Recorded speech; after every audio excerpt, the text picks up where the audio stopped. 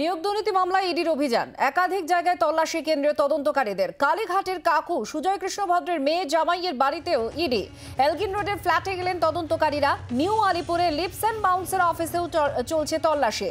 এই সংস্থারই ম্যানেজিং বোর্ডে ছিলেন কালীঘাটের কাকু সুজয় কৃষ্ণ ভদ্র। আরও কয়েকটি জায়গাতেও চলছে তল্লাশি। বিক্রম আমাদের প্রতিনিধি আপডেট দিচ্ছেন। বিক্রম কোনো আপডেট? বিভিন্ন জায়গায় তল্লাশি চালানো হচ্ছে, কি খবর? একেবারে এই মুহূর্তে তিনটি জায়গায় তল্লাশি অভিযান চলছে। একদিকে যেরকম এই মুহূর্তে আহ, নিউয়ালিপুরে লিপস অ্যান্ড বাউন্সের অফিসে এই তল্লাশি অভিযান চলছে। অপরদিকে আমরা যেটা জানতে পারছি যে লি রোডে সুজয় কৃষ্ণ ভদ্র রথে কালীঘাটের কাকুর একটি ফ্ল্যাট রয়েছে জামাইয়ের নামে একটি ফ্ল্যাট রয়েছে। যে ফ্ল্যাটটি তিনি আড়াই কোটি টাকা নিয়োগ দুর্নীতির টাকা দিয়ে কিনেছেন বলে এনফোর্সমেন্ট ডিরেক্টরেট অভিযোগ করছে।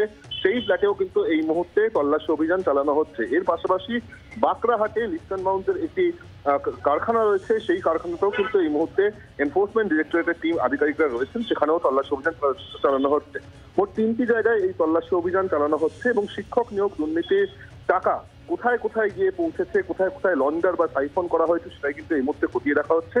যার মধ্যে অবশ্যই সব থেকে উল্লেখযোগ্য আজকের এই তল্লাশি অভিযান যেখানে চালানো হচ্ছে তা হলো নিউ আলিপুরের লিপস অ্যান্ড বাউন্সের যে রেজিস্টার্ড অফিস তার কারণ যেটা জানা যাচ্ছে যে এসডি কনসালটেন্সি নামে সুজয় কৃষ্ণ ভদ্রের একটি কোম্পানি ছিল, সেই কোম্পানির সঙ্গে দু হাজার কুড়ি সালের জানুয়ারি মাসে চুক্তি হয় এই লিপস অ্যান্ড বাউন্স কোম্পানির যেখানে লিপস অ্যান্ড বাউন্স কোম্পানিকে প্রতি বছর এক কোটি টাকা করে দেওয়ার কিন্তু কথা সেখানে মেনশন করা হয়েছে।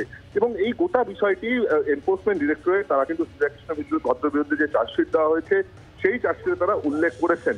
এবং সেখানেই তারা যেটা মনে করছেন যে এই কোম্পানির সঙ্গে কোনো যোগসূত্র রয়েছে, কোনো কানেকশন রয়েছে, যার মাধ্যমে মূলত এই শিক্ষক নিয়োগ দুর্নীতির বিপুল অঙ্কের টাকা ডাইভার্ট করা হয়েছে বা সাইফন করা হয়েছে নির্দিষ্ট কিছু লোকের কাছে এমনটা কিন্তু তদন্তকারীরা মনে করছেন। সেই জায়গায় দাঁড়িয়ে এই যে তিনটি জায়গা যেখানে এই মুহূর্তে তল্লাশি অভিযান চালানো হচ্ছে সেখান থেকে বেশ কিছু গুরুত্বপূর্ণ নথিপত্র ডিজিটাল এভিডেন্স বাজেয়াপ্ত করা হয়েছে কিন্তু তল্লাশি এখনও চলছে।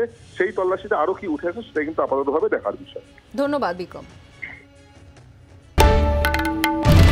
বাংলার আওয়াজ বাঙালির আবেগ। জি চব্বিশ ঘণ্টা।